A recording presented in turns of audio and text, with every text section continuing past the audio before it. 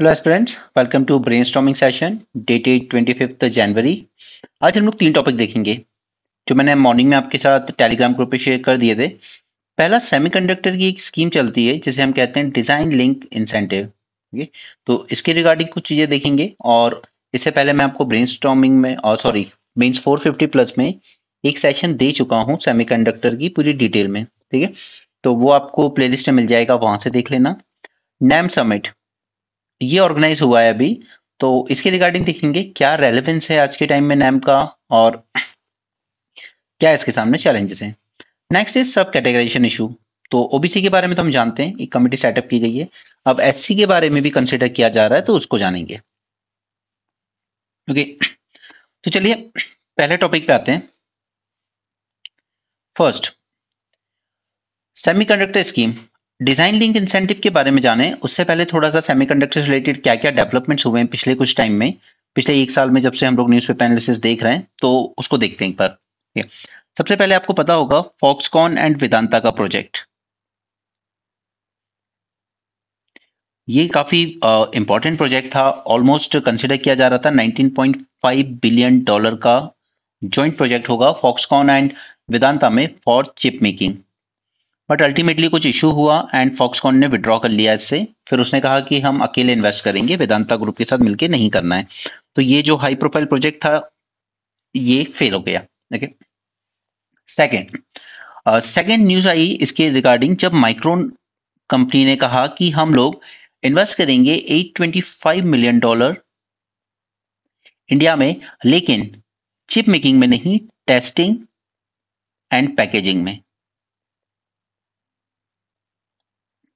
Right तो ये दो इंपॉर्टेंट न्यूज़ थी। ये दो ऑर्गेनाइजेशन न्यूज़ में थे। तो इसके बारे में हमने जाना।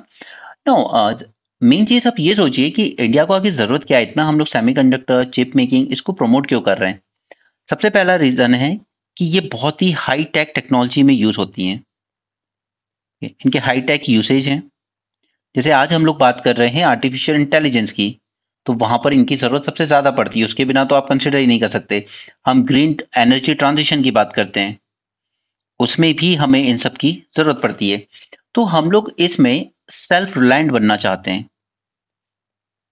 We don't want to be dependent okay second कि अगर हम लोग डिपेंडेंट हैं और ये चीज़ हम लोग इंपोर्ट कर रहे हैं तो there is very high possibility कि इसके साथ कुछ मेलवेयर फिट किए जाएँ, जिससे कि स्पाइंग जासूसी जिसे हम कहते हैं वो की जाए। और ऐसे एलिगेशन चाइना की कुछ कंपनीज़ पर लगे हैं यूएसए में, जैसे हुआवी एक कंपनी थी, ठीक है? ऑस्ट्रेलिया ने इसको निकाल दिया अपने यहाँ से कि आप स्पाइंग कर रहे हो। यूएसए ने भी इसको बैन कर दिया कि आप स्पाइंग कर रहे हो, आप हमारे फाइव प्रोजेक्ट से बाहर रहिए।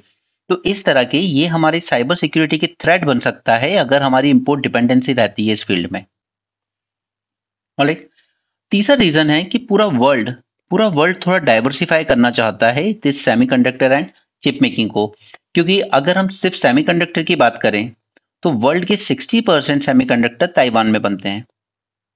और इनका जो हाईटेक यूसेज यूसेज है स्पेशली इंडस्ट्रियल फोर रेवल्यूशन में, जिसे हम आई फोर पॉइंट ओ कहते हैं इंडस्ट्रियल रेवल्यूशन फोर्थ इसमें जितना ज़्यादा यूसेज है और 60 परसेंट कंसंट्रेशन आप देख रहे हैं ताइवान में, इसीलिए मैं आपको बार बार एम्फोसाइज करता हूँ जियो न्यूज़ में भी जब तक यूएसए है, वो ताइवान को चाइना के कंट्रोल में नहीं जाने देगा। चाइना के कंट्रोल में ताइवान जाना, जो कि वो क्लेम करता है एंड चाइना पॉलिसी यानी कि पूरे वर्ल्ड का जो सेमीकंडक्टर का डोमिनेंस है, वो पूरा चाइना के अंडर में जाना। ओके तो यूएसए कभी वो चीज़ नहीं होने देगा। इसलिए ताइवान थोड़ा सा आँखें दिखा भी लेता है चाइना को। नेक्स्ट इज़ कि अगर हम एडवांस चिप की बात करें एडवांस चिप मानी जाती है which are below ten nanometre इसका हंड्रेड परसेंट कंसंट्रेशन मैं डिज़ाइनिंग की बात नहीं कर रहा हूँ, मैं फैब्रिकेशन की बात कर रहा हूँ, ठीक है? बनाने की, ठीक है? इसका hundred percent concentration South Korea में है। तो डाइवर्सिफिकेशन करने की ज़रूरत है कि अगर एक कंट्री में कोई प्रॉब्लम आ जाए, जैसे पेंडेमिक आया था सप्लाई चेन में डिसप्शन हो गया था लाइक रशिया यूक्रेन इशू आया था। रशिया यूक्रेन अब इन दोनों में से कोई भी इंपॉर्टेंट पावर नहीं है। सेमीकंडक्टर चिप मेकिंग में। लेकिन यूक्रेन एक इंपॉर्टेंट सोर्स है हमारे लिए फॉर सप्लायर ऑफ़ नियॉन ठीक है? जो कि एक की इनपुट है इन सेमीकंडक्टर मैन्युफैक्चरिंग राइट तो इस तरह की सप्लाई चेन डिस्ट्रप्शन ना हो, इसलिए भी हम थोड़ा सा सेल्फ लैंड बनना चाहते हैं इसमें ओके और बाकी बातें भी मैंने आपको न्यूज़पेपर एनालिसिस के साथ ही बता दी थी, जैसे हम लोग लेकर सॉरी हम लोग लेकर आए एक Semicon project Semicon India programme ठीक, इसके बारे में हमने बात की थी। Worth around ten billion dollar ठीक है? इसमें इंसेंटिव्स देंगे हम कंपनीज़ को कि अगर आप हमारे यहाँ फैब्रिकेशन यूनिट लगाते हो तो ये आपको मिलेगा। ओके लेकिन इसमें कोई ज़्यादा अच्छा हमें रिस्पॉन्स मिला नहीं, ठीक है? हमने फाइनेंशियल सपोर्ट देने की भी बात की बट हमें इसमें कुछ मिला नहीं। अब इसी के साथ हम लोग लेकर आए एक और that is semiconductor design linked incentive जिससे रिलेटेड ही न्यूज़ आर्टिकल था। तो अब मैं डिज़ाइन लिंक इंसेंटिव स्कीम पे आऊँ, उससे पहले मैं आपसे दो तीन पॉइंट और डिस्कस करूँगा। जब हम लोग इसकी बात कर रहे हैं ना तो ये मैंने आपको मेंस 450 प्लस में एक लेक्चर दिया था। तब मैंने एक्सप्लेन भी की थी इसकी सेवरल स्टेजेस सबसे पहले आती है चिप डिज़ाइनिंग की बात। जो आप कह सकते हो कि अराउंड ट्वेंटी परसेंट इसकी जो पूरी वैल्यू चेन है, उसमें ट्वेंटी परसेंट डिज़ाइनिंग की बात होती है। ओके और डिज़ाइनिंग में लीड करता है यूएसए यूएसए करता है, लेकिन उसकी जो बड़ी बड़ी कंपनीज़ हैं, उन्होंने अपना जो designing research and development base बनाया है रिसर्च एंड डेवलपमेंट बेस ये इंडिया में बना रखा है काफ़ी हद तक। ठीक है, और इवन जो कंपनियों में सबसे ज़्यादा डिज़ाइनर भी हैं, जो चिप डिज़ाइनिंग वगैरह पे वर्क करते हैं, वो हमारे ही नॉन रेसिडेंट इंडियंस हैं। तो आप कह सकते हो कि डिज़ाइनिंग में इंडिया के पास अच्छा खासा बेस है तो फॉरेन कंपनीज़ का बेस है, लेकिन इंडिया में है। दूसरा, हमारे ओवरऑल जो इंडियन ओरिजिन के पीपल काम कर रहे हैं, वो हमारी यहाँ पर मेन ह्यूमन कैपिटल है। डिज़ाइनिंग के बाद सेकेंड कंसेप्ट निकल कर आता है फैब्रिकेशन का, और यही सबसे कॉम्प्लेक्स सबसे कैपिटल इंटेंसिव स्टेज होती है, ठीक है? आप कह सकते हो अराउंड फोर्टी परसेंट सप्लाई जो सप्लाई चेन वैल्यू है वो यही है। इसमें काफ़ी सारी प्रोसेसिंग चीज़ें यूज़ की जाती है, जैसे एचिंग की जाती है पहले डोपिंग की जाती है, ठीक है? सिलिकॉन वेफर्स बनाने पड़ते हैं हमें। तब जाकर ये इस तरह से जाकर एक चिप तैयार होती है। बहुत ही हाईली कैपिटल इंटेंसिव स्टेज होती है ये। आप कह सकते हो कि करीब 20 बिलियन डॉलर तक का खर्चा आ जाता है। और यही सेटअप करना चाहते थे वेदांत और फॉक्सकॉन जो डील कैंसिल हुई है उनकी, ठीक है? क्योंकि ये सबसे ज़्यादा मुश्किल भी है और सबसे ज़्यादा फाइनेंशियली डिमांडिंग भी है ठीक है बट अब देखिए जो हाई एंड चिप्स होती हैं लेस देन टेन नैनोमीटर उस पर फोकस अभी इंडिया को नहीं करना चाहिए। India should keep its focus on low end fabrication low end fabrication that is chip जिनकी chip of more than ten nanometre size ठीक है, हमें इस पर फोकस करना चाहिए। इसके बाद फैब्रिकेशन के बाद नेक्स्ट स्टेज आ जाती है असेंबली टेस्टिंग एंड पैकेजिंग ये वो स्टेज है जहाँ पर माइक्रोन इन्वेस्ट करना चाहता है। ये भी आप कह सकते हो अराउंड ट्वेंटी परसेंट यही ऑक्यूपाई करती है यही स्टेज ओके तो इसके बाद नेक्स्ट स्टेज हमारी आ जाएगी डिस्ट्रीब्यूशन की।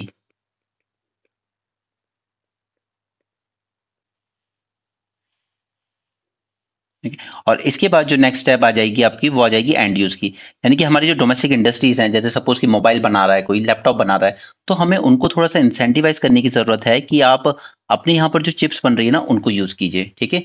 थोड़ी सी अगर कॉस्टली भी है तो भी कीजिए, कुछ फाइनेंशियल इंसेंटिव वगैरह दे दिए जाएँगे आपको बट आप ये जो इम्पोर्ट चिप चिप्स हैं, उनकी हमें यूसेज कम करना है ठीक है? तो यहाँ पर मैंने आपको स्टेजेस बता दी पाँच stage designing fabrication assembly testing and packaging distribution and finally end use ठीक है?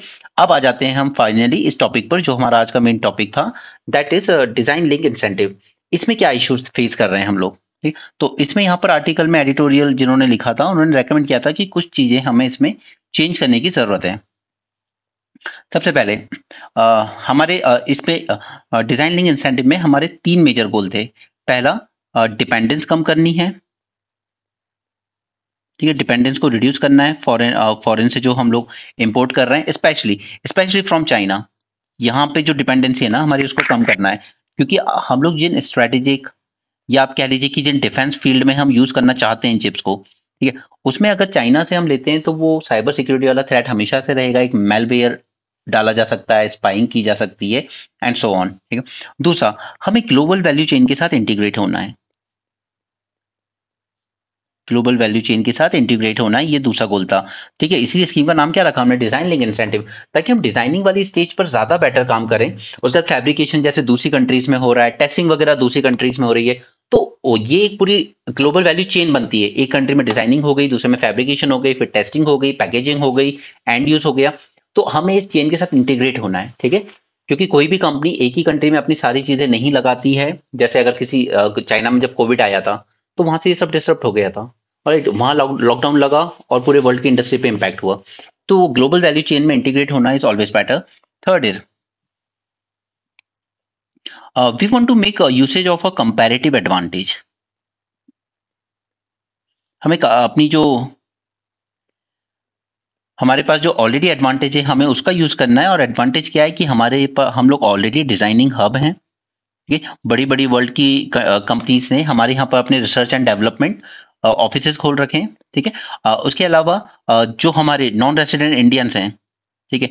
हमें उनका यूज़ करना है ताकि हम अपने यहीं पर ये इकोसिस्टम डेवलप कर सकें। तो ये जब स्कीम आई थी तो तीन मेजर गोल हमने सेट किए थे अपने सामने। ये रीजन थे। अब इसमें इश्यूज़ क्या आ रहे हैं, उन, उनकी बात कर लेते हैं। इस स्कीम के लॉन्च के बाद भी इसको क्यों ज़्यादा रिसीव नहीं कर रही है कोई भी कंपनी पहला इशू है कि हमने एफडीआई पे बैरियर लगाया हुआ है। नो यू नो कि अगर आपकी कंपनी है, अगर उसमें 51 परसेंट आप किसी और ने आपकी शेयर खरीद लिए या आपने 10 लाख का बिज़नेस शुरू करा उसमें से 6 लाख किसी और के हैं तो वो मालिक हो जाएगा आपकी कंपनी का। आप माइनॉरिटी शेयर होल्डर बन जाओगे। तो यहाँ पर इसी तरीके से एक रिस्ट्रिक्शन लगाई गई थी कि जो भी कंपनी होगी it can not raise it cannot raise more than 50% of fund via FDI. Otherwise क्या होगा? अदरवाइज़ उस कंपनी की जो ओनरशिप होगी, वो फॉरेन ओनरशिप कहलाएगी। फिर वो डोमेस्टिक कंपनी रह ही नहीं गई। ओके और ये प्रॉमिस लिया गया कि आप अपना जो डोमेस्टिक स्टेटस है, ये डोमेस्टिक स्टेटस है, ये मेंटेन करके रखेंगे एटलीस्ट फॉर थ्री इयर्स यानी कि अगर आज मैं कोई कंपनी स्टार्ट कर रहा हूँ सेमीकंडक्टर के लिए तो मैं तीन साल तक जो भी मेरी कंपनी की वैल्यूएशन होगी वो 50 परसेंट से ज़्यादा फॉरेनर होल्ड नहीं कर सकते उसको। तीन साल के बाद मैं चाहूँ तो शायद कर सकता हूँ बट अब भी नहीं कर सकता। ठीक? लेकिन अब दूसरी प्रॉब्लम ये है कंपनी के पास कि फिर अगर मैं फंडिंग चाहिए तो मैं कहाँ से लाऊं? हमने ऊपर देखा, बहुत कैपिटल इंटेंसिव है, पैसे बहुत चाहिए इसमें। ओके तो यहाँ पर डोमेस्टिक फंडिंग की भी कमी है। There is lack of domestic funding okay क्योंकि हमने देख लिया कि ये जो सेक्टर है, काफ़ी काफ़ी कैपिटल इंटेंसिव है। कि ट्वेंटी ट्वेंटी बिलियन डॉलर तक की इसमें आपको फंडिंग चाहिए। बट यहाँ पर हमारे पास कोई डोमेस्टिक फंडिंग मैकेनिज्म है ही नहीं इतना जो हमें इतनी फंडिंग दे सके। ओके. एंड एक और बात याद रखिए जो फैब्रिकेशन वगैरह होते हैं ना ये बड़ी सेंसिटिव चीज़ें होती है। कई बार आपकी पूरी की पूरी इन्वेस्टमेंट पानी में चली जाती है। नहीं बन पाई जो बनाना चाह रहे थे। तीसरा इस, इस इसके अंडर में जो इंसेंटिव दिए गए they are not sufficient okay मैंने द हिंदू में डिस्कशन के टाइम भी समझाया था आपको कि इंसेंटिव दिए गए आपको पंद्रह से लेके तीस करोड़ तक depending on varying size okay but they are not okay तो ये जो कैप है इस पे फिफ्टीन थर्टी करोड़ की, इसको थोड़ा सा इंक्रीज करने की ज़रूरत है। इसके बाद नोडल एजेंसी के साथ ही इशू था। कंफ्लिक्ट ऑफ़ इंटरेस्ट आ रहे थे इसमें। अगर आपने न्यूज़ पेपर एनालिसिस भी सुना होगा तो आप बेटर रिलेट कर पाएँगे इस टॉपिक को अदरवाइज़ तो फिर सिर के ऊपर से निकल जाएगा। इसलिए कहता हूँ, जो भी फॉलो करो, सारे इनिशिएटिव फॉलो करो। सी टैक ठीक है? ये इसकी नोडल एजेंसी है बट बात यह है कि यही सी डैक अपने आप में खुद भी मार्केट प्लेयर है। ठीक है तो ये तो सीधी साधा सीधा सीधा कंफ्लिक्ट ऑफ़ इंटरेस्ट हो जाता है यहाँ पे। Right right? तो फिर करें क्या? वी नीड टू फ़र्स्ट पहले we need to focus on broader objective ठीक है? देखिए हमें अपना ऑब्जेक्टिव थोड़ा सा चेंज करने की ज़रूरत है यहाँ पर। मैंने न्यूज़पेपर एनालिसिस के साथ भी आपके साथ डिस्कस किया था कि वी शुड फोकस कि हमारा एडवांटेज कहाँ है? कहाँ पे हमारे पास एडवांटेज डिज़ाइनिंग में? ठीक है? तो हमें अभी डिज़ाइनिंग पे फोकस करना चाहिए फ़िलहाल के लिए। ठीक है? अपनी मैन पावर जो है उसकी कैपेसिटी बिल्डिंग पे आ, उसकी कैपेसिटी बिल्डिंग पे फोकस करना चाहिए। Capacity building of man power क्योंकि यही मैन पावर एक्सपीरियंस होगी अच्छी अर्निंग करेगी फंडिंग जुटाएगी और उसके बाद फिर वो खुद अपनी डोमेस्टिक कंपनी सेटअप कर सकते हैं। जैसे आज लेंस कार्ड के जो ओनर हैं, ठीक है? I don't remember his name I think Piyush नाम है, ठीक है? वो माइक्रोसॉफ्ट के साथ वर्क करते थे ओके एक्सपीरियंस गेन किया फंडिंग गेन की और फिर इंडिया आकर लेंस कार्ड शुरू किया एंड वी ऑल नो कितने सक्सेसफुल रहे ओके नाउ नेक्स्ट इज़ कि we should focus on designing stage rather than going for fabrication कि फैब्रिकेशन काफ़ी कैपिटल इंसेंटिव भी है। उसके अलावा uh, में एक और चीज़ है कि इसको ना 24 four by seven water and consistent electricity supply भी चाहिए। ठीक है? तो इस तरह का रेसिलियंट इंफ्रास्ट्रक्चर भी चाहिए जहाँ पे एक सेकंड के लिए भी अगर कोई दिक्कत आती है ठीक और ये वाटर भी ऐसे नहीं एकदम प्योर वाटर अदरवाइज़ आप वो चिप नहीं बना पाएँगे उस तरीके की। ठीक है? हमें डिज़ाइनिंग स्टेज पे फोकस करना चाहिए और ग्लोबल वैल्यू चेन के साथ इंटीग्रेशन पे फोकस करना चाहिए। ओके हम डिज़ाइनिंग में अपने आप को हब बनाएँ, उसके बाद फिर फैब्रिकेशन अभी जहाँ हो रहा है, होता रहे बट धीरे धीरे उन कंपनीज़ को अपनी तरफ़ अट्रैक्ट करने की कोशिश करें। ओके तो ये हमारे कुछ ऑब्जेक्टिव्स होने चाहिए स्कीम में तो ये टॉपिक हो कंप्लीट होता है। अगले पे चलते हैं। नैम समिट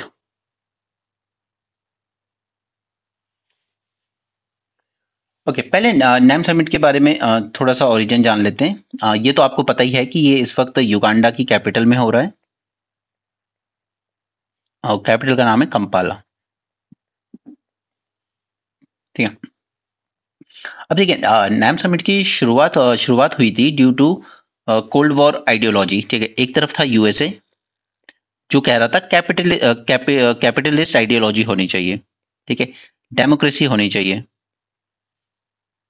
और दूसरी तरफ़ था यूएसएसआर दैट इज़ सोवियत संघ। ये ये फॉलो कर रहा था कम्युनिस्ट आइडियोलॉजी को। ओके okay, और सोशलिज्म की बात कर रहा था। दैट इज़ सारे प्रोडक्शन वगैरह जो हैं वो सरकारी कंपनियों के हाथ में होना चाहिए जबकि कैपिटलिस्ट कहते हैं कि नहीं प्राइवेट सेक्टर के हाथ में होना चाहिए वो एफिशिएंट होते हैं। राइट तो इन दोनों के बीच में अब सभी कोशिश कर रहे थे यूएसए और यूएसएसआर भी कि ज़्यादा से ज़्यादा कंट्री अपने कैंप में आ जाए। और उसमें सबसे प्रोमिनेंट अगर कोई कंट्री थी तो वो थी इंडिया दोनों ही चाहते थे कि इंडिया अपने अपने कैंप में आए. बट इंडिया ने कहा कि नहीं, हम दोनों को ही पसंद नहीं करते बट कहीं ना कहीं थोड़ा टिल्ट हमारा यूएसएसआर की तरफ़ ज़्यादा था, क्योंकि हमने ये फाइव ईयर प्लान वगैरह, फिर ये सोशलिज्म वगैरह के कंसेप्ट फ्रीडम स्ट्रगल के टाइम ही हमने कहा था कि देखिए, अगर प्राइवेट के हाथ में सब कुछ जाएगा तो वो तो फिर गरीबी अमीरी बहुत ज़्यादा रहेगी. हम बनाना चाहते थे कि गैलिटेरियन सोसाइटी ताकि रिसोर्सेस डिस्ट्रीब्यूट हो सके सब में फेयरली ये तो हमारा टिल्ट कहीं ना कहीं थोड़ा सा यूएसएसआर की जो सोशलिस्ट टाइप की आइडियोलॉजी था ना, उस तरफ़ था इनडायरेक्टली बट ये जो प्रेशर आ रहा था लगातार, अब देखिए, हमने क्या कहा था कि हम नॉन अलाइंड रहना चाहते हैं। हमें किसी को ज्वाइन नहीं करना। बट पाकिस्तान ने खुल के कहा, मैं ज्वाइन करूँगा यूएसए को। ठीक है? और यही हुआ था कि जब कश्मीर पे इन्वेजन हुआ, जो आज हम लोग कहते हैं कि इंडिया ने क्यों आधा कश्मीर रखने दिया पाकिस्तान को? उस टाइम एक फियर यही था कि पाकिस्तान था इनके साथ और यूएस यूके का पूरा सपोर्ट था पाकिस्तान को कश्मीर इशू पर। तो वॉर अगर एग्रीगेट हो जाती और यूएस यूके की मदद से पाकिस्तान पूरा ही कश्मीर उस वक्त छिना लेता तो वो नेहरू जी के दिमाग में था। इसलिए उन्होंने सोचा कि चलिए इसको यूएन में लेके चलते हैं वहाँ पे फैसला करेंगे ठीक है और वो सिचुएशन फिर ऐसी की ऐसी बनी थी फिर अब जाके कुछ हद तक सॉल्व हुई है बट अभी भी पीओ के तो है उनके पास। एनीवे anyway, तो अपने अपने ब्लॉग में लेने की बात हुई तो यहाँ पर 1955 में एक बांदुंग कॉन्फ्रेंस होती है। बांदुंग कॉन्फ्रेंस वो भी इंडोनेशिया में। ठीक है, यहाँ पे एशिया और अफ्रीका के, क्योंकि ये इन रीजन्स में वो कंट्रीज़ थी जो अभी अभी इंडिपेंडेंट हो रही थी कॉलोनियल पावर से। ठीक है तो यहाँ पर ये सब मिलते हैं। उसके बाद 55 के बाद 1961 में बेलग्रेड कॉन्फ्रेंस और बेलग्रेड है कहाँ? तो ये उस वक्त जो यूगोस्लाविया हुआ करता था, बाद में ब्रेकअप हो गया वो इसका। कई कंट्रीज़ में ब्रेक हो गया।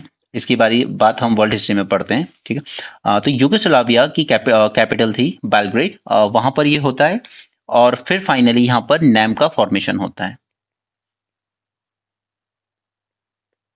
तो आप कंफ्यूज नहीं होना। जो कंसेप्ट था नैम का वो निकल के आया बांदुंग कॉन्फ्रेंस में। बट एग्जैक्टली exactly जब नेम नैम का फॉर्मेशन हुआ तो वो हुआ बालग्रेड कॉन्फ्रेंस में 1961 में। 55 में सिर्फ़ इस कंसेप्ट की बात की गई थी। अब इसकी फाउंडर्स की बात कर लेते हैं तो पाँच प्रोमिनेंट फॉर्मर्स फाउंडर्स थे। वन वॉज़ सुकारनो सुकारनो जो कि इंडोनेशिया के प्रेसिडेंट थे एक अपने नेहरू जी थे दूसरे इजिप्ट के ना, नासिर थे। ठीक है। नेक्स्ट वॉज़ निक्रुमा जो कि घाना से आते हैं and then president Tito from Yugoslavia himself और अब ये नेहरू नासिर की फ्रेंडशिप का इसी वे में समझ लीजिए आप कि जब हमने गोवा लिबरेट करने की कोशिश की, हमने किसे की थी? पोर्चुगीज से की थी राइट ठीक है। पोर्चुगीज से लिबरेट करने की कोशिश कर रहे थे। अब पोर्चुगीज कोई कमज़ोर पावर तो था नहीं उस टाइम कि हम उससे गोवा इजली छिना लेंगे। यहाँ स्विस कैनाल था। जिसको नेशनलाइज कर चुके थे तब तक प्रेसिडेंट नासिर फ्रॉम इजिप्ट ठीक है? इन्होंने इस आ, इंडिया की मदद हो सके और पोर्चुगीज की नेवी गोवा ना पहुँच सके इसलिए इन्होंने स्विस कैनाल को ब्लॉक करवा दिया था ठीक है? तो ये बात करते हैं हम नेहरू नासिर की फ्रेंडशिप की ठीक है? गोवा को लिबरेट करने में मिस्टर नासिर यानी कि इजिप्ट ने इंडिया की मदद की थी इनडायरेक्टली ओके सो ऐसा नहीं है कि नेहरू जी जो आजकल चलता है कि जिस दिन नेहरू प्रधानमंत्री बने उसी दिन देश का बेड़ा गर्क हो गया ये यूट्यूब वगैरह पे चलता रहता है इस टाइप की चीज़ें बट ऐसा नहीं है। बहुत बड़ी बड़ी अचीवमेंट्स हैं। एनी वे नाउ आपको एग्ज़ाम पॉइंट ऑफ़ व्यू से कुछ बातें याद रखनी होंगी, जैसे इसका कोई परमानेंट सेक्रेटेरिएट नहीं है। Okay okay? इसका कोई भी परमानेंट सेक्रेटेरिएट नहीं है, और ना ही इसकी कोई प्रॉपर फाउंडिंग ट्रीटी है, या आप कह लीजिए कोई एक्ट हो, या यूएन चार्टर की तरह कोई चार्टर हो, कुछ नहीं है इसका। ठीक है, ये ऐसे ही वर्क करता है इनफॉर्मली अब इसके मेंबर्स जो हैं मेंबर्स बहुत सारे 120 कंट्रीज़ लेकिन इसमें इंपॉर्टेंट चीज़ ये है कि यहाँ पर पैलेस्टीन पैलेस्टीन भी इसका एक मेंबर है, जबकि पैलेस्टीन यूएन का मेंबर नहीं है, ठीक है? It is a non UN member right Palestine भी यहाँ पर एक मेंबर है। क्लियर तो यहाँ तक इसकी हिस्ट्री समझ में आई आपको? अगर प्रिलिम्स में इससे रिलेटेड कुछ पॉइंट्स आ जाएँ तो। अब मैं आता हूँ आपके साथ दूसरी चीज़ से। एक है कि चैलेंजेस क्या फेस कर रहा है नैम देखिए सबसे बड़ा चैलेंज तो ये बना कि जब 1991 में यूएसएसआर डिसॉल्व हो गया। यानी कि दो पोल हुआ करते थे वर्ल्ड में, लेकिन अब तो सिर्फ़ एक ही पोल रह गया। यानी कि हमारा यूनिलेटरल वर्ल्ड हो गया। और एक ही सुपर पावर रह गया दैट इज़ यूएसए ठीक है? तो पहले हम फाइट कर रहे थे against the bipolar world now हम, हमारी फाइट अब नैम की फाइट शुरू हो चुकी थी यूनिपोलैरिटी के अगेंस्ट ठीक है कि ऐसा नहीं होना चाहिए कि यूएसए का ही डोमिनेंस रहे पूरे वर्ल्ड पे। Now NAM is fighting against the unipolarity clear इसके बाद दूसरा ये है कि एक बार फिर से आ, फिर से बायपोलैरिटी बायपोलैरिटी की फाइट शुरू हो रही है वर्ल्ड में। बायपोलैरिटी इज़ इंक्रीजिंग नाउ कैसे? मैंने आपको बताया। एक तरफ़ है यूएसए एक तरफ़ है उसका यूरोप। दोनों मिलकर बनाते हैं नाटो ठीक है? तीसरी तरफ़ है इसका इसराइल जो वेस्ट एशिया में है। इसके बाद है ईस्ट एशिया में इसके यूएस के कुछ एलाइज जैसे जापान के Korea Australia and so on ठीक है? एक तरफ़ ये सेक्शन हो गया, दूसरी तरफ़ आइए। एक तरफ़ है रशिया जिसको आइसोलेट करा, किया गया है यूक्रेन वॉर की वजह से सैंक्शन लगाए हुए। हैं दूसरी तरफ़ है चाइना जो मिलिट्री हैच मनी को चैलेंज कर रहा है यूएसए की बार बार देखिए पूरे साउथ चाइना सी में इसने परेशान करके रखा हुआ है। वहाँ की कंट्रीज़ को, ठीक है? इसका नाइन डैश लाइन कंसेप्ट वगैरह सब हम जानते हैं। इसके बाद है ईरान, जिसको अगेन आइसोलेट करके रखा है यूएसए ने सेंक्शन लगाकर। इन तीनों के बीच बॉन्डिंग बढ़ती जा रही है। और दूसरी तरफ़ है नॉर्थ कोरिया जो कि अनऑफिशियली सही बट एक न्यूक्लियर पावर है। जिसे पूरा थ्रेट कर रखा है जापान कोरिया और पूरे जो वो रीजन है, ठीक है? उसको एक थ्रेट में ले रखा है। दूसरी तरफ़ है ईरान, जो अपने नॉन स्टेट एक्टर्स की मदद से non state actors no these non state actors like Hamas ठीक है we know Houthi rebels we know Hezbollah इनके थ्रू इसने वर्ल्ड में परेशानी कर रखी है। और कहीं ना कहीं जैसे जैसे इंडिया यूएसए के ज़्यादा क्लोज गया है, उसी तरीके से पाकिस्तान ज़्यादा करीब आया है इनके। ठीक है? और उसी तरीके से साथ में है अफ़गानिस्तान, जो कुछ नहीं तो उसके पास एक मोटिव तो क्लियर है कि मुझे यूएसए पसंद नहीं है। तो एक बार फिर से वर्ल्ड बायपोलैरिटी की तरफ़ से बढ़ रहा है। अब इसमें इंडिया कितनी भी कोशिश कर ले बैलेंस बनाना बहुत मुश्किल है, कि बीच में लाई करता है इंडिया और India along with India along with some like minded countries जैसे साउथ अफ्रीका ठीक है, जिसने इसराइल के अगेंस्ट केस किया है आईएसजी में। इनका गोल यही है कि हम लोग कुछ भी हो जाए, लेकिन हम लोग इन पावर पॉलिटिक्स में नहीं पड़ना है, हमें एक बैलेंस बना के चलना है सभी के बीच। बट चाइना का थ्रेट इतना ज़्यादा है इंडिया के लिए कि यहाँ पर हमारे लिए न्यूट्रल रह पाना बहुत मुश्किल है। क्योंकि यूएसए की मदद के बिना इंडियन ओशियन को सेफ़ करना is not going to be that easy right तो पहले हम लोगों ने फाइट किया बायपोलैरिटी के अगेंस्ट फिर यूएसए आ गया तो हमने फाइट किया यूनिपोलैरिटी के अगेंस्ट कि हमें यूनिपोलर वर्ल्ड नहीं चाहिए, सबके पास बराबर साइन होना चाहिए। उसके बाद वापस से हम आ गए हैं बायपोलैरिटी जो बढ़ती जा रही है वर्ल्ड ओवर ठीक है? इसके अलावा और नैम क्या करता है? ह्यूमन राइट्स की बात करता है। ठीक है। आज भी ग्लोबल नॉर्थ वर्सेस साउथ का कंसेप्ट वैलिड है। नॉर्थ में सारे डेवलप कंट्रीज़ हैं कॉलोनियल पावर्स हैं जो कभी वर्ल्ड को पे रूल किया करती थी। ठीक है? डेवलप्ड वर्सेस डेवलपिंग कंट्री की इश्यूज़ हैं। ठीक है? ये हाईली डेवलप्ड हैं और यहाँ डेवलपिंग कंट्रीज़ में सोशल हो पॉलिटिकल हो इकोनॉमिकली ये सब अंडर डेवलप है। राइट दूसरा नैम फाइट करता है हिस्टोरिकल इनजस्टिस के अगेंस्ट ठीक है? जैसे, ये जितने भी इश्यूज़ हैं ना चाहे वो पैलेस्टीन का इशू हो या चाहे वो कश्मीर का इशू हो, ये सब क्या है? ये सब जो हिस्टोरिकली कॉलोनियल पावर्स की दी हुई प्रॉब्लम्स हैं, जिनका आज तक कोई अंत नहीं हो पाया। All these are problems created by the colonial powers so called the developed nation ठीक है तो उसके अलावा इसी में आप क्लाइमेट चेंज को भी जोड़िए। आज क्लाइमेट की जो हालत है, ये सब किसकी वजह से? इंडस्ट्रियल रेवोल्यूशन जो कहाँ हुआ? इन्हीं यूरोपियन कंट्रीज़ में, जो अब आज डेवलप कंट्रीज़ हैं। तो इनसे डेवलपिंग कंट्री अपने अधिकार बिल्कुल बराबर से मांगती हैं। We need fund we need technology from you okay जो कि ये लोग देने से मना करते हैं। On the basis of principle of common but differentiated responsibility right तो इसमें ये सारी चीज़ें आप जोड़ सकते हो कि नैम के प्लेट पर क्या क्या है जो वो आपस में डिस्कस कर सकते हैं। क्लियर तो इसके अलावा वर्ल्ड पीस एंश्योर करना डेवलपमेंट वगैरह, वो सब आप पॉइंट्स में देख सकते हैं। तो यहाँ पे खत्म होता है दूसरा टॉपिक अब हम आ जाते हैं आज के तीसरे टॉपिक पे दैट इज़ सब कैटेगराइजेशन अब देखिए सब कैटेगराइजेशन चलिए सीक्वेंस में चलते हैं। We are not directly jumping to that see first thing is कि आपने रोहिणी कमीशन के बारे में आप जानते हैं? ठीक है रोहिणी कमीशन इसको क्या टास्क दिया गया? कि ओबीसी का जो रिजर्वेशन है 27 परसेंट इसको थोड़ा सा सब कैटेगराइज करना है। मैं एग्जैक्ट नहीं बता रहा हूँ क्योंकि अभी तक तो ऐसी कोई रिपोर्ट सामने आई नहीं है उसने सबमिट कर दी गवर्नमेंट को। बट शायद इलेक्शन के बाद हमें इसमें रिपोर्ट सामने देखने को मिले। बट कहीं ना कहीं ऐसा कहा जा रहा है कि ये जो 27 परसेंट है, उसको 99 परसेंट करके बटा जाएगा, ठीक है? Among comparatively forward caste within OBC ठीक है? Comparatively backward caste within OBC and comparatively most backward caste among OBC ठीक है?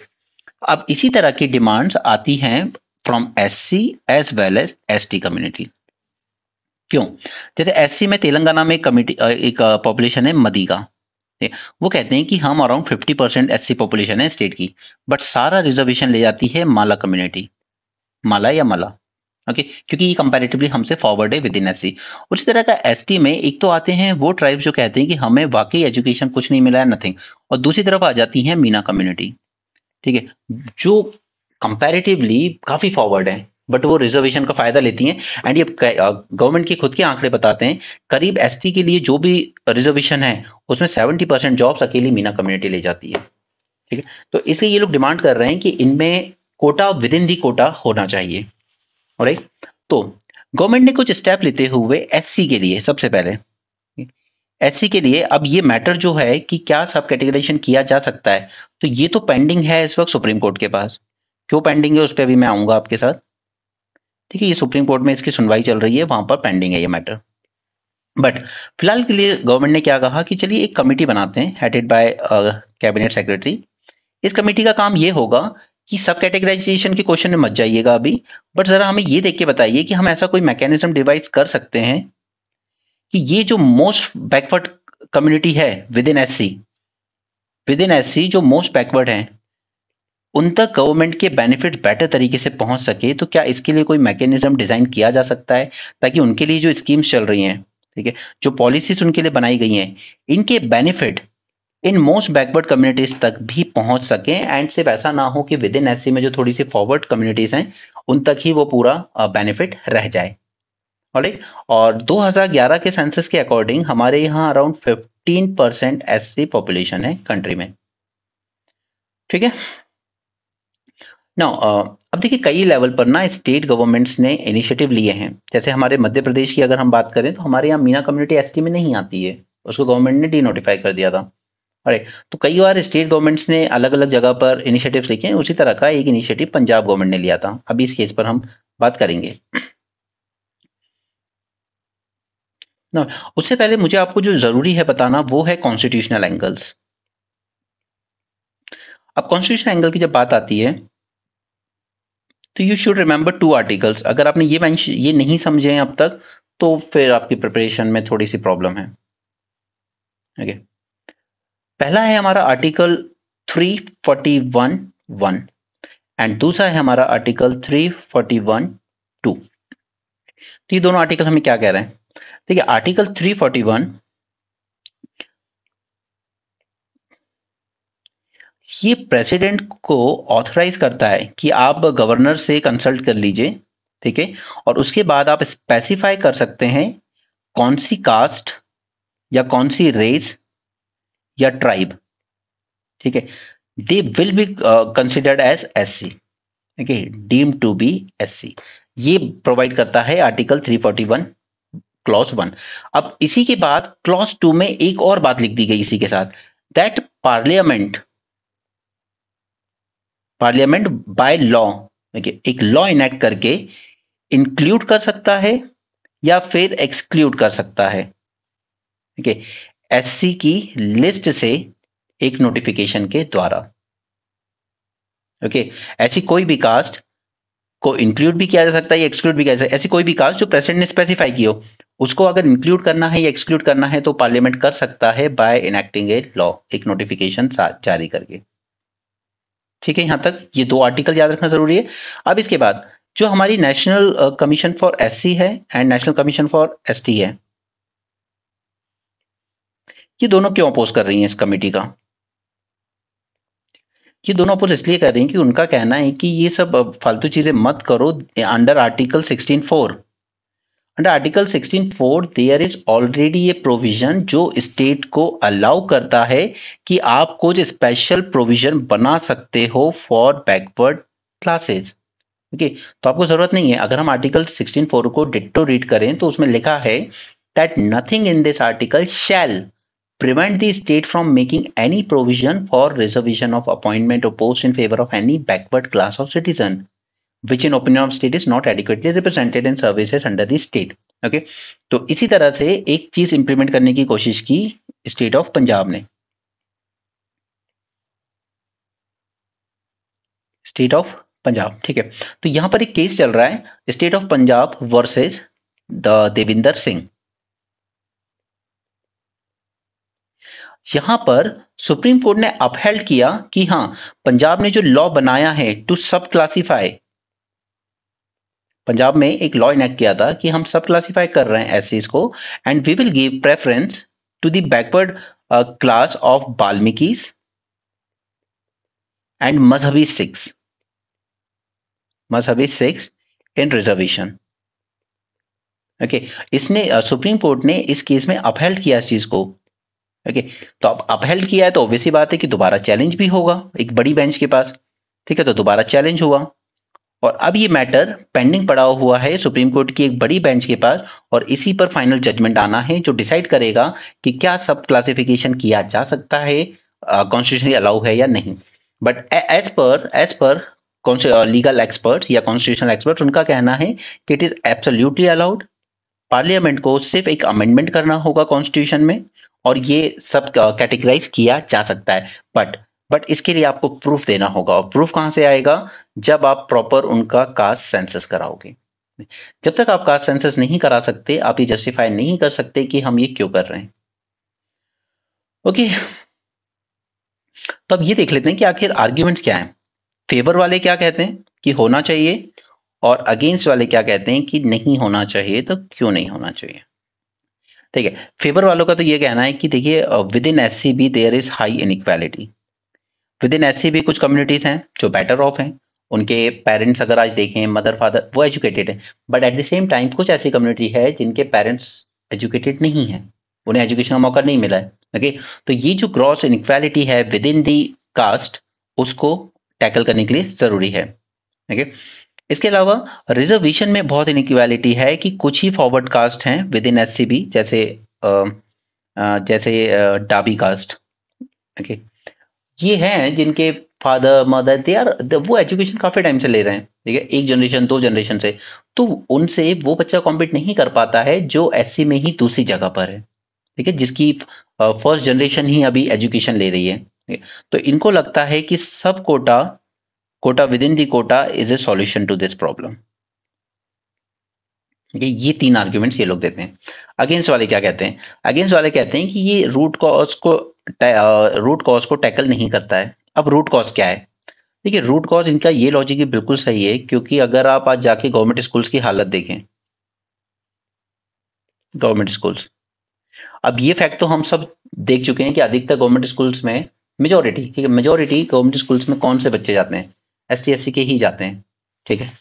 कुछ बैकवर्ड एरिया से जहाँ प्राइवेट स्कूल नहीं है तो गवर्नमेंट स्कूल में जा रहे हैं। अब एक बात बताइए कि छत्तीसगढ़ गवर्नमेंट स्कूल में पढ़ने वाला बच्चा, और हम देख चुके हैं टीचर पढ़ाने में कितना इंटरेस्ट लेते हैं, सरकारी टीचर ठीक है, वो बच्चा जो छत्तीसगढ़ के किसी बैकवर्ड स्कूल में पढ़ रहा हो, और एक एस का बच्चा जो दिल्ली के प्राइवेट स्कूल में पढ़ रहा हो टॉप क्लास क्या ये दोनों इक्वली कॉम्पीट कर पाएँगे आगे चल के? क्या इनका बेसिक इनके फाउंडेशन उतने स्ट्रांग हैं दोनों के? नहीं ना? तो रूट कॉज क्या है? कि आपका जो ये फर्जी एजुकेशन सिस्टम चल रहा है, जो एसीआर की रिपोर्ट ने ऐसे डराने वाले आंकड़े दिए हैं कि चौदह से अट्ठारह साल के बच्चे क्लास टू का टेक्स्ट ठीक से नहीं पढ़ पा रहे हैं। ठीक है? बेसिक कैलकुलेशन नहीं कर पा रहे हैं। मैथमेटिक्स में बहुत बुरे हाल हैं। लेकिन बेसिक कैलकुलेशन या एक गाँव में अगर आप अपना प्रोड्यूस भी बेच रहे हो तो उसका कैलकुलेशन नहीं कर सकते आप। इतने बुरे हाल हैं। अगर बच्चे इस तरह का एजुकेशन लेंगे स्कूल में तो फिर वो बड़े होकर क्या करेंगे? वो फिर वही हाल होगा। ए प्लस पी स्क्वायर में ढूंढते रहेंगे। Extra A B okay so ये सॉल्यूशन नहीं है। रूट कॉज है आपकी एजुकेशन की क्वालिटी जब तक तो उस क्वालिटी को एड्रेस नहीं करेंगे, ये कोटा किसी काम का नहीं है। Same for the case with E W S E W S की बात की कि हाँ इनको रिजर्वेशन मिलना चाहिए मिलना चाहिए। ठीक है, मिलना चाहिए, नहीं मिलना चाहिए, वो आर्ग्यूमेंट करते रहो। बट द प्रॉब्लम में कि जो पुअर थे, जैसे दिव्या तवर का हमने एग्ज़ाम्पल देखा ओके? अगर आप वो स्कॉलरशिप ही नहीं दे रहे हो उसको पढ़ने के लिए अच्छे से तो वो रिजर्वेशन क्या कर लेगा? पहले वो स्कॉलरशिप तो दो, कि उसे कहीं और पार्ट टाइम जॉब ना करना पड़े दो हज़ार रुपए के लिए। तब जाकर उस रिजर्वेशन को बेनिफिट ले पाएगा। तो जो रूट कॉज है इनका that is root cause that is quality education and poverty ठीक है? ए सर्वे ने भी क्या कहा कि 1418 में अधिकतर बच्चे स्कूल के साथ साथ ही पार्ट टाइम जॉब करने लगते हैं। ठीक है? या तो वो छोटी मोटी दुकान कॉटेज इंडस्ट्री में अपने पेरेंट्स का हाथ बटा रहे हैं या खेतों में अपने पेरेंट्स का हाथ बटा रहे हैं। तो फिर ये जो रूट कॉज है ना, इनको एड्रेस नहीं करता है तो ये सब कोटा विद इन दी कोटा, ये सब फालतू की प्रॉब्लम बातें हैं। अगर ऐसा कर भी देंगे तो उसमें भी वही होगा कि वो जो मोस्ट बैकवर्ड कास्ट है ना उसमें भी कुछ जो थोड़े से वेल ऑफ़ होंगे वो फ़ायदा ले लेंगे और बाकी रह जाएँगे ओके सो so, ये सॉल्यूशन नहीं है। ज़रूरत है कि डिस्पैरिटी का जो मेन रीजन है क्वालिटी एंड पावर्टी इसको एड्रेस किया जाए पहले अगर आप अच्छी क्वालिटी स्कूल्स नहीं बना रहे हो तो फिर वही होगा कि अगर आपने विद इन कोटा दे भी दिया सपोज़ मदिगा कम्युनिटी को दे दिया तो जो हैदराबाद में रह रहे हैं वो उसका फ़ायदा उठा लेंगे। बट वहीं तेलंगाना ही कभी और ज़्यादा बैकवर्ड इलाकों की बात करें तो वही कम्युनिटी जिसके पास अच्छे स्कूल्स नहीं है तो वो उसका फ़ायदा नहीं उठा पाएगी। तो ये लॉजिक बिल्कुल ठीक है कि रूट कॉज को एड्रेस करना ज़्यादा ज़रूरी है हमारे लिए that is quality of the schools and education poverty okay and अच्छे स्कूल्स बनाना मोस्ट इंपॉर्टेंटली ओके तो ये तीन आर्टिकल्स हमने डिस्कस कर लिए इसमें। आई होप आपको समझ में आए हो। अगर आपको लेक्चर पसंद आया हो तो do give it a like thanks for joining this session have a great day and keep learning